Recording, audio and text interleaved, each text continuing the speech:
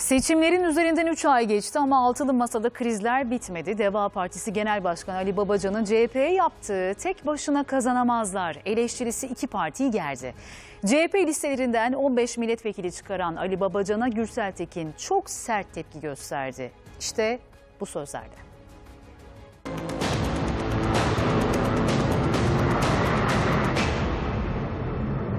CHP kendi başına herhangi bir seçime girip kazanması mümkün mü ya? Ya siz hayal mi görüyorsunuz? Gerçekten yazıklar olsun.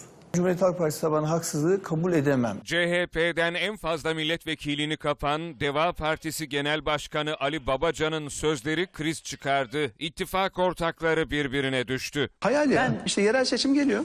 E hadi İstanbul'da, Ankara'da desinler ki biz kendi adayımıza çıkacağız ve kazanacağız. Öyle diyorlar. Hadi yapsınlar o zaman. Yerel seçim. açık olsun. Siz ne yapacaksınız Yani yerel Böyle bir şey seçimde? mümkün mü ya? Bu cevabın kime Sayın Babacan?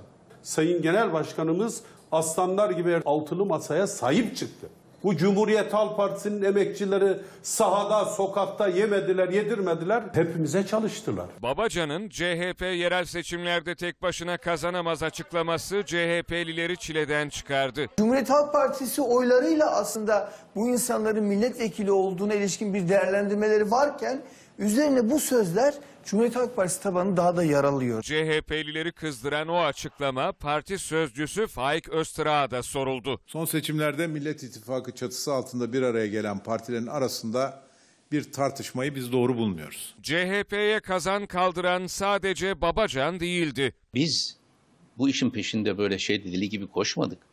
Bizim son tercihimiz Cumhuriyet Halk Partisi'ydi. İttifak içi ittifak. Deva, Saadet gelecek. Üçümüz girelim dedim. Cumhuriyet Halk Partisi Genel Başkanı'nda böyle bir laf duydunuz mu? Sayın Davutoğlu.